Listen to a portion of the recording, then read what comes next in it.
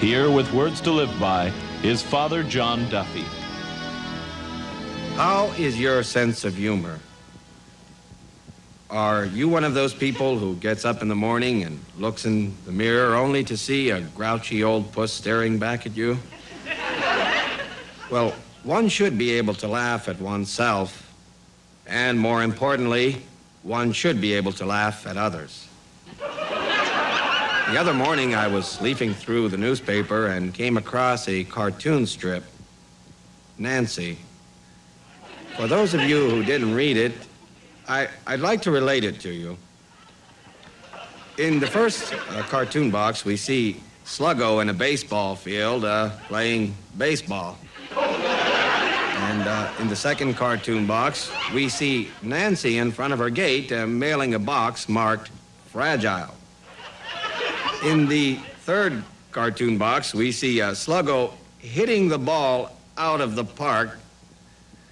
And in the last cartoon box, we see the, the ball heading right for the package marked fragile. How is your sense of humor? God has a sense of humor. Do you? I'm reminded of a story concerning Saint Philip Neri, the patron saint of the sense of humor, when he was uh, captured by a rebel band of Etruscans. Uh, they had tied St. Philip to a spit over a fire, and with a look of great agony on his face, St. Philip looked up to one of his captors and said, You can turn me over. I'm done on this side. Yes, St. Philip had a sense of humor. Finally, a story concerning Jesus himself the time he threw the money changers out of the temple.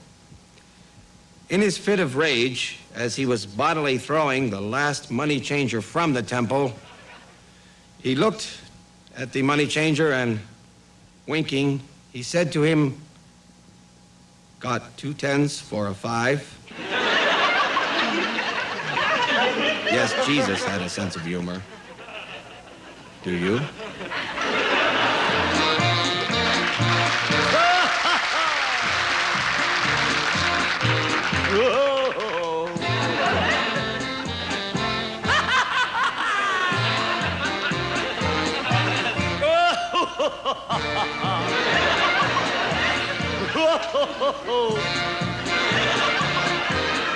Hello, Joe.